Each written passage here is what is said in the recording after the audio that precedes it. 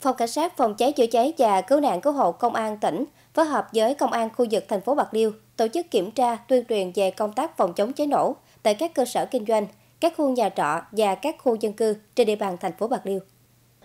Tại các nơi đến, đoàn đã kiểm tra việc thực hiện an toàn phòng cháy chữa cháy và cứu nạn cứu hộ, thông tin về tình hình cháy nổ trên địa bàn cả nước nói chung và tỉnh Bạc Liêu nói riêng trong thời gian gần đây, chỉ ra những thiệt hại và hậu quả do cháy nổ gây ra, nhấn mạnh tầm quan trọng của công tác phòng cháy, nhất là trong mùa nắng nóng như hiện nay.